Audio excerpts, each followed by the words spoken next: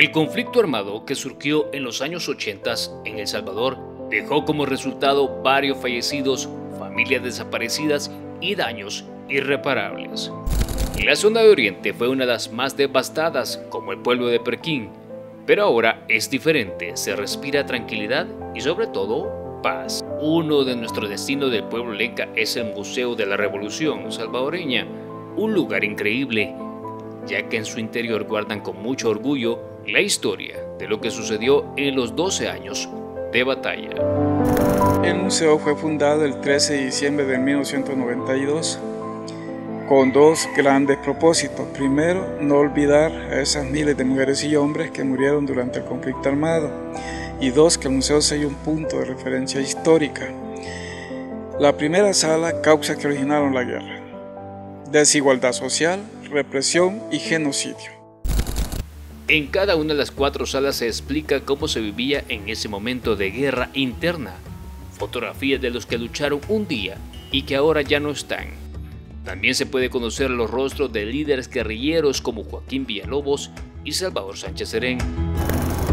En la sala 4 se encuentran armas de grueso calibre que se le decomisó al enemigo.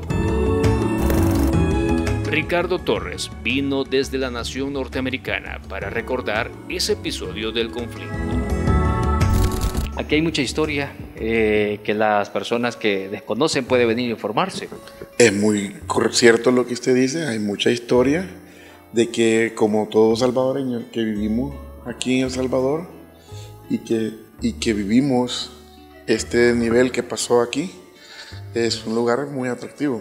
No solo viene a relajarse uno, viene a ver la realidad de lo que pasó en nuestro país.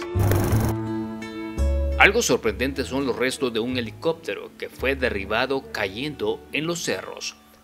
También se cuidan los vehículos que transportaron al líder guerrillero Shafik Kandal y Joaquín Villalobos en momentos de los procesos de paz realizados en México.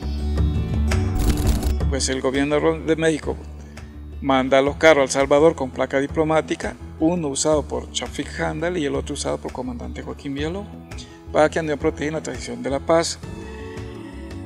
Vencido el pedido de la placa diplomática, el de Chafik Handal, lo retome el embajador de México, Antonio Villa, que está en El Salvador, y ya se lo dona al museo el 7 de octubre del 99, como una pieza valiosa, histórica, eh, blindada y su peso es de 2 toneladas. En el museo guardan algunos equipos de transmisión en la radio Venceremos, uno de los pilares fundamentales para las fuerzas de izquierda.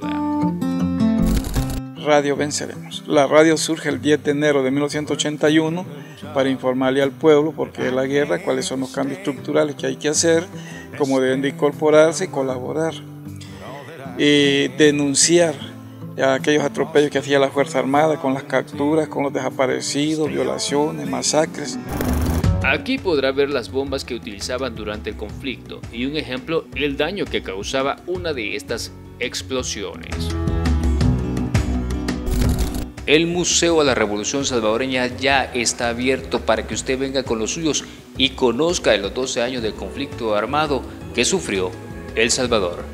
En Perquín Morazán, Kerber Vázquez, código 21.